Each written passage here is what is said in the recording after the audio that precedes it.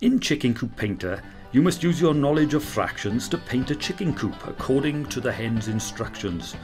This clever game will teach your students to visualize and compare the value of different fractions. Now our chickens are very fussy when it comes to the way they want their nest boxes decorated.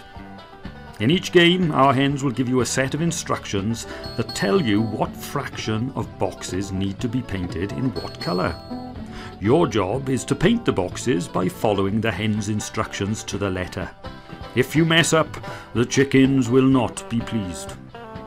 When you think all the nest boxes are painted correctly, click on Mark Me, I'm done.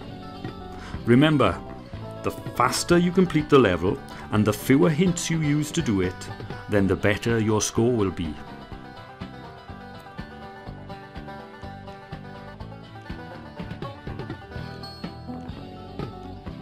And if your answers don't turn out right, you'll always be shown where you went wrong and what you should have done. And don't forget, if you get really stuck, you can always ask for a hint. But you must be aware that this will cost you points.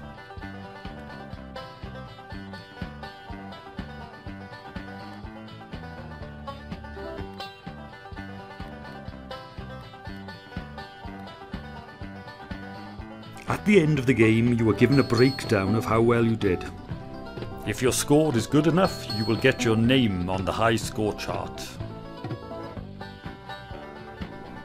This bit at the bottom shows you which levels you did correctly and which ones you didn't. You can revisit any questions you did by clicking on the relevant icon. If you can't work out where you went wrong, remember you can still use the hint button There are four levels of difficulty, and for the top three levels, the questions are randomly generated, so you'll always be presented with a different set of problems each time you play. Chicken Coop Painter is just one game from a suite of games designed to help you learn fractions. They are all available online and from the app stores, so visit www.echalk.co.uk to get your hands on them and start using them.